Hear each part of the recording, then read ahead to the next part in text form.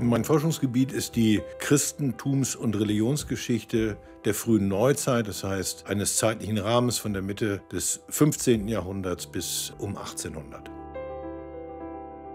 Die für mich in der letzten Zeit wichtigste Entdeckung war die Entdeckung Luthers als Medienakteur. Mir ist klar geworden aufgrund der Analyse seiner Druckmanuskripte, dass er unmittelbar für den Buchdruck gearbeitet hat, dass er sozusagen immer schon die Umsetzbarkeit seines Manuskriptes in den Druck im Blick hatte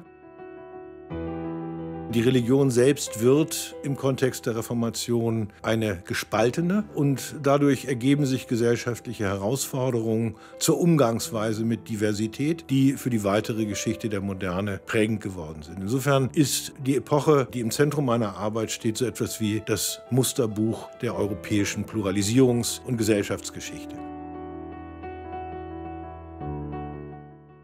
Im Unterschied zum Mittelalter, wo wir vielfach kaum Quellen haben, und im Unterschied zur Neuzeit, wo wir häufig zu viele Quellen haben, ist die frühe Neuzeit aus meiner Sicht die idealste Epoche. Und insofern fühle ich mich da eigentlich fast wohler als in der eigenen Gegenwart.